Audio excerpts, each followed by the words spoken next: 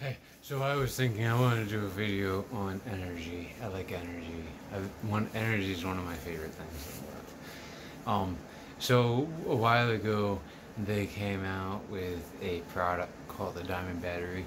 I think it's one of the coolest energy technologies on the planet.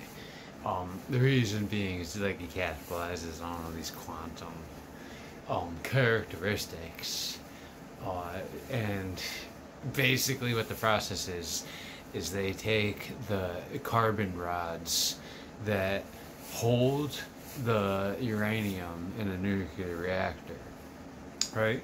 And they shave off so basically what when you're exposed to radioact radioaction radioactivity um, you change the weight of the material that's exposed so you can pretty much guarantee every piece of metal, or every piece of oxygen, everything is radioactive.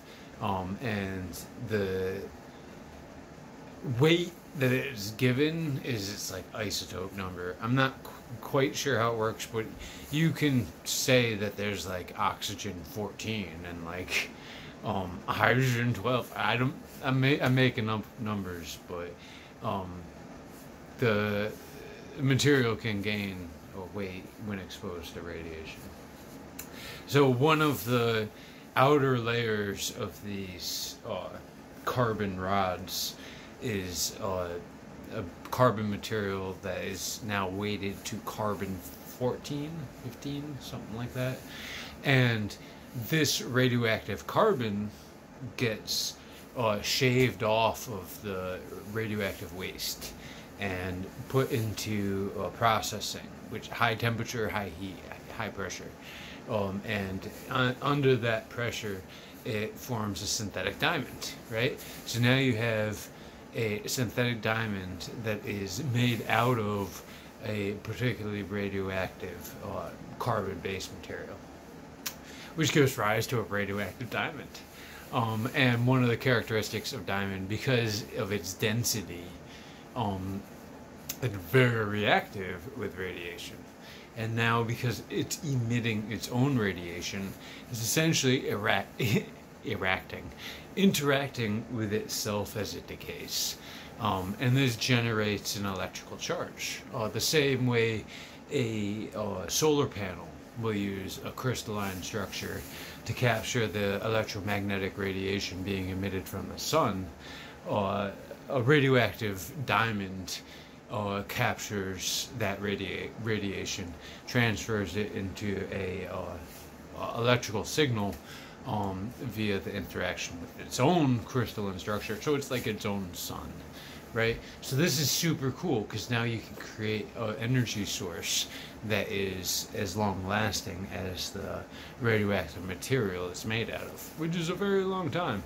Um, you know, so that's awesome, right? So now what can we do with it? Well, there's a parallel technology uh, where they're actually imprinting circuits, circuits, circuitry, electronics into diamonds. So now we have a compounding technology upon technology where they meet. It's so cool. Um, where you can generate a electrical charge from the structure that is imprinted with a circuit board, right? So now we have a, a, a, a computer that is made out of diamonds that is powered by radioactivity that is in the diamond itself that it's made out of. So, how do we make this safe? And what can we do with it? well, we make it safe crazily enough, by um, encasing it in another diamond. Because, yeah, it's just that radioactive. It needs to be encased in the hardest uh, material, densest material that we can make, which is non radioactive carbon. Um, and it'll pretty much be a computer for thousands of years. That's so cool. it's like the coolest thing ever. Um, and then if you want to, you could even expose it to additional radiation, and that would further power it. Now, as a, a an embedded computer, where it interacts with my kind of realm, is in the in the idea of immortality, and if you're going to be preserving yourself for uh, all of time, you have to first identify the self.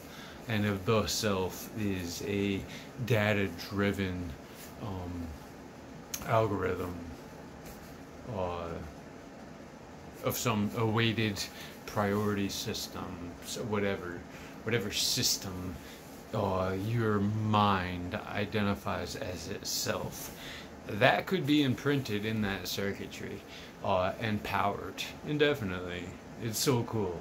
So you want to live forever, that's one way. I mean, it's not my preferred way, but it's one of the tools in the toolbox.